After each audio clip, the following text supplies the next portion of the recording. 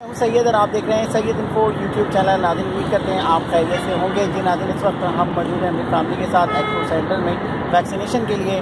और अलहमदिल्ला हमारी वैक्सीनेशन कंप्लीट हो गई है। ये वैक्सीनेशन 18 साल से जायद उम्र के लोगों को लगाई जा रही है।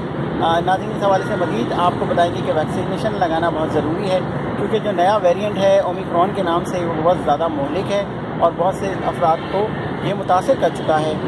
ये जो अफ्रीकन कंट्रीज़ हैं, जिसमें जम्बिया तंजानिया कैनिया और लेसथू और बटसवाना है, इनमें बहुत ज़्यादा जो केसेस हैं रिपोर्ट हुए हैं और ये दुनिया के और ममालिक में भी आहिस्ता आहिस्ता फैल रहे हैं। इन ममालिक पर सफरी पाबंदियाँ जो हैं, वो लागू कर दी गई हैं।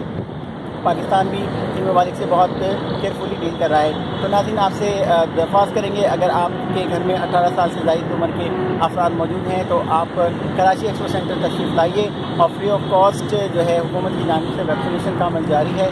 आप अपने जो है सी एन आई सी के हमारा यहाँ तशरीफ़ लाइएगा, ताकि किसी प्रॉब्लम का आपको सामना ना करना पड़े। इस किस्म की अगर मज़ीद इन्फॉर्मेशन जानना चाहते हैं तो आप हमारे चैनल सैयद को यूट्यूब पर सब्सक्राइब कीजिए। बहुत शुक्रिया असल